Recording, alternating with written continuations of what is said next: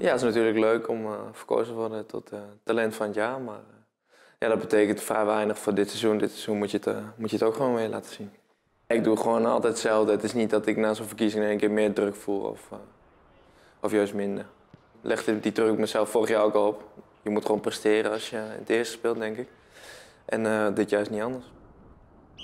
Ik hoorde laatst dat ik de derde speler ben met de meeste wedstrijden. Dus ja, dat is wel raar om te horen op je, op je negentiende. Maar ja, aan de ene kant ook wel weer leuk. Maar uh, ja, wat ik al zei, als je in het eerste speelt, moet je, moet je gewoon presteren. Ja, als je ziet, de laatste tijd zijn er veel spelers weggegaan en uh, veel nieuwe bijgekomen. Dus uh, daar gaat het in één keer heel snel.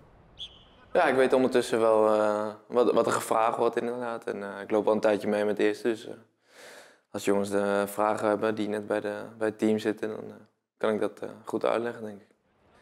Ja, vooral nu met de, met, met de dienst, de ballen doen en het water. Daar uh, hoor ik nog steeds bij. En, uh, ja, dan leg ik gewoon uit hoe dit uh, allemaal moet en dan, dan loopt dat gewoon weer goed.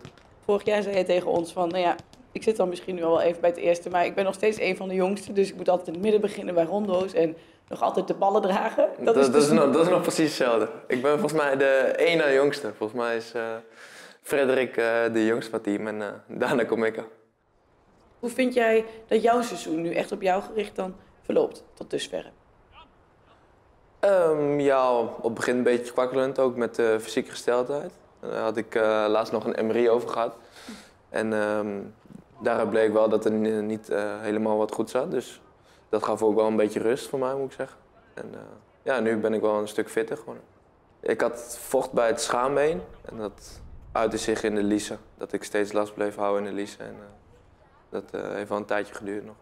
Ik kon niet helemaal die 90 minuten volmaken en dat, uh, ja, daar baalde ik wel van. Maar de laatste tijd gaat het, uh, gaat het goed. De dokter zei ook dat het verder geen kwaad kon. Dat, dat de kans in ieder geval niet groter was op, op een andere blessure of iets. Dus dat was goed. Nu geen buitenspel voor Ter Avest. Wat komt de keeper nou doen? Het is raak. Ter Avest maakt hem. En je vraagt je af waarom komt uh, Robin Ruiter van zijn lijn. De keeper van FC Utrecht schat dat helemaal verkeerd in.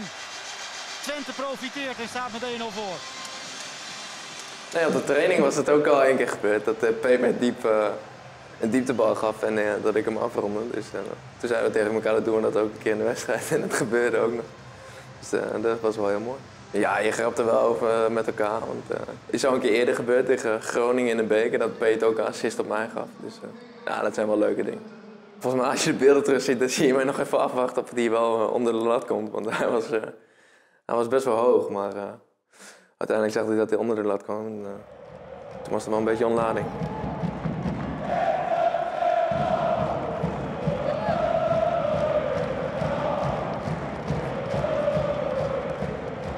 Ja, dat is echt uh, fantastisch als, als de hele stadion uh, je naam scandeert.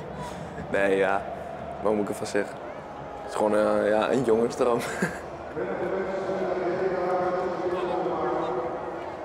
ik denk dat hij het inzicht om bijvoorbeeld hier al op, op jonge leeftijd misschien wel aanvoerder te worden.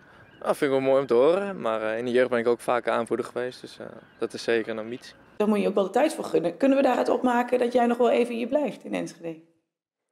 Ja, tot nu toe is de planning wel dat ik hier nog even blijf. Ik heb er naar mijn zin. Ik woon ook net, uh, net op mezelf in, uh, in Bieden nog steeds. Dus nee, ik voel me goed hier. Haal dat even, even maar weg inderdaad.